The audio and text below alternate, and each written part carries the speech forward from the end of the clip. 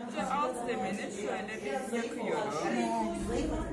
Çok güzel yapıyorsun. Yuvarlak hareketlerle. Hiçbir yerde sabit durmuyorum. Ekleğimi hareket ettiriyorum. Duracaksa da kaldırıp öyle. Durursa o zaman yakarız. Durmaması gerekiyor. Durduğu zaman çıkıyor.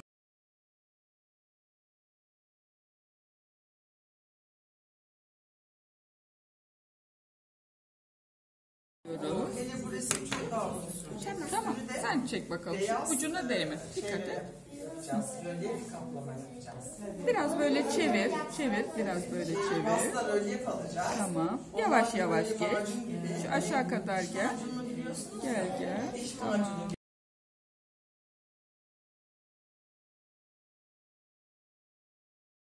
Bakın bunlar daha önce alınmış. E, Çöpe atmak yerine biz bunları yenileyip tekrar duvarımıza asmaya çalışıyoruz. Tablo yapıyoruz. E, ondan sonra ahşap ne demek onu göstereyim. Mesela bu bir ahşap malzeme. Bu nasıl bir malzeme? Plastik, bu ahşap, bu plastik. Dolayısıyla bizim kursumuzda hem ahşap da boyuyoruz, plastik de boyuyoruz. E, bunun adı da MDF. MDF de geri dönüştürülmüş bir malzeme. Tahtaları e, un gibi eliyorlar, sonra sıkıştırıp bunları yapıyorlar. Sonra biz bunları çok güzel boyayıp tekrar değerlendiriyoruz.